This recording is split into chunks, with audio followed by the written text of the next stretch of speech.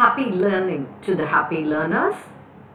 I'm Dr. Shobha Edward, Principal, Associate Professor, and Head of the Department of Corporate Secretaryship, KCS Kasi Nadar College of Arts and Science, here to give you a presentation on statistics.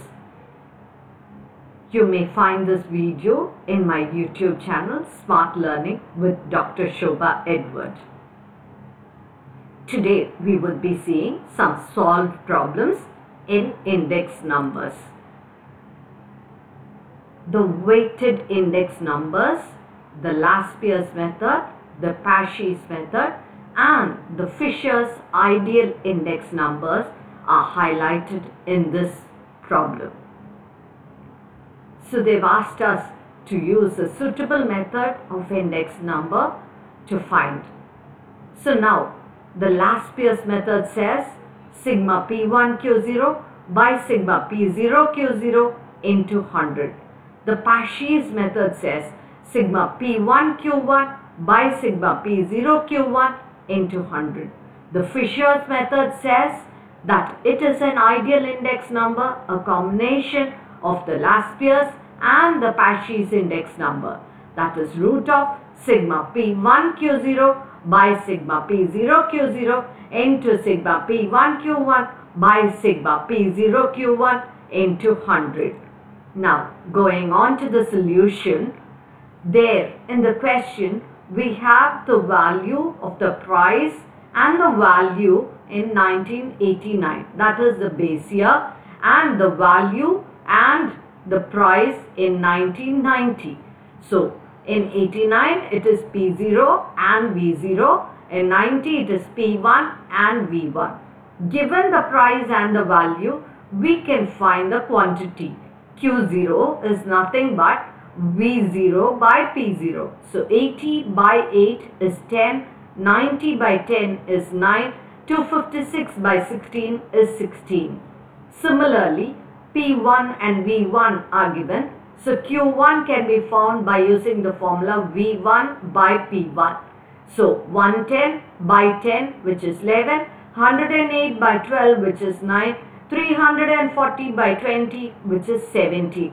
Now going on to the Laspeyres method, we require P1 Q0 divided by P0 Q0 into 100.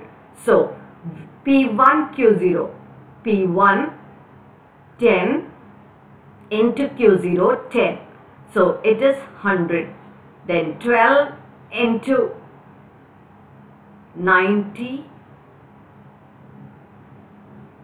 9 12 into 9 which is 108 20 into 16 which is 320 the total of P1Q0 is 528 now P0 Q0 is needed so P0 the value of P0 is multiplied by Q0 8 into 10 80 10 into 9 90 16 into 16 256 the total of this 426 moving on to the formula 528 by 426 into 100 which gives you the Laspeyres index number 123.9437 so this is the index number using the Laspeyres method now for the Paasche's method we need P1 Q1 and P0 Q1. So P1 Q1. So 10 into 11, 110. 12 into 9, 108.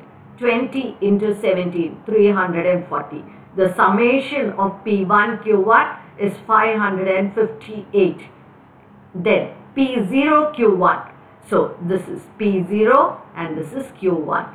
8 into 11, 88. 10 into 9, 90. 16 into 17, 278 with sums to 450. Now going on to Paasche's index number, we have taken the totals that is going back we have 558 divided by 450. You may see that 558 by 450 into 100 which is equal to 124. Now Fisher's index number is just a combination of both last and Paasche's. So it's root of 528 by 426 into 558 by 450 into 100. So root of 1.239 into 1.24 into 100. So it's root of 1.5368 which comes to 1.2396 and so on into 100. So your Fisher's index number values to 123.9699. So now under our last Laspeyres method, this was devised by Laspeyres in 1871. In this method, the weights are determined by quantities in the base. P01 is equal to sigma P1 Q0 by sigma P0 Q0 into 100. Now a recap of the Paasche's method. This method was devised by a German statistician Paasche in 1874. The weights of the current year are used as base year in constructing Paasche's index number. So P01 is equal to sigma P1 Q1 divided by sigma P0 Q1 into 100. Now going on to the Fisher's price index number, it is the geometric mean of the last Laspeyres and Paasche's index number.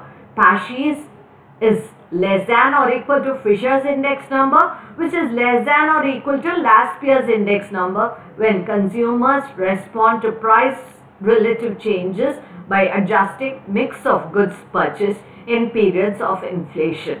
Paasche and Fisher more data intensive and costly because we need to obtain expenditure weights in each period.